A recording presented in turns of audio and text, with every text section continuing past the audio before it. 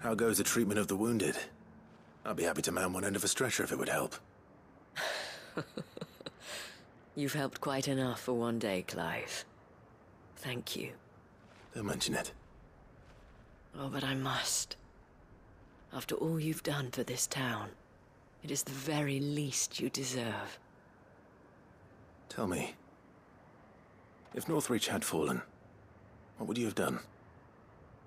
A woman of your means could find a home anywhere in the realm, but I sense you would rather have died here. It's a long story. For you, madame, I have all the time in the world.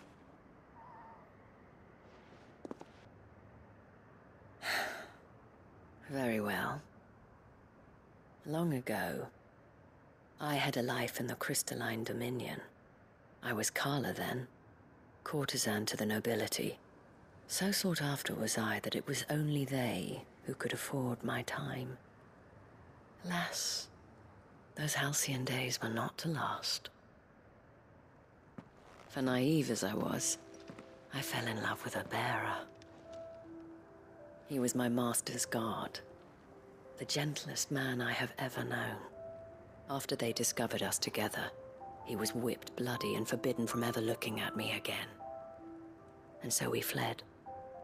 Not that we had anywhere to flee to. We wandered, aimless and starving, half dreading, half praying that the next day would be our last.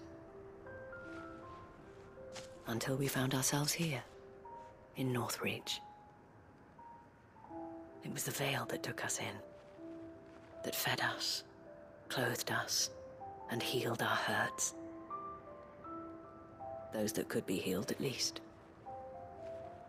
My love was already too far gone. He passed away. He did. Not long after we arrived. But at least we were able to share a few moments of peace before the end.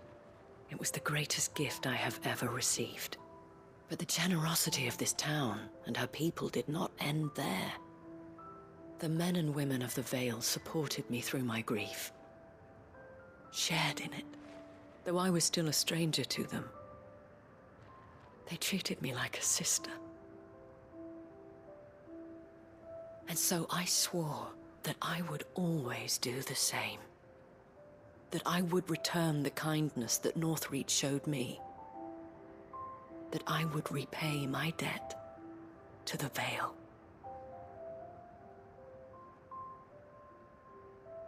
Thank you, Isabelle, for sharing this with me. Hmm. You're a lot like him, you know. Perhaps that is why I have such a soft spot for you. Never stop fighting, Clive. And I shan't either. I know that it will not be easy to keep Northreach together.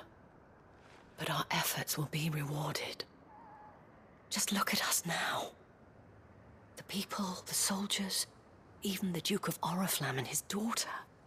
All united in defense of this town that we have come to call our home. And what of you?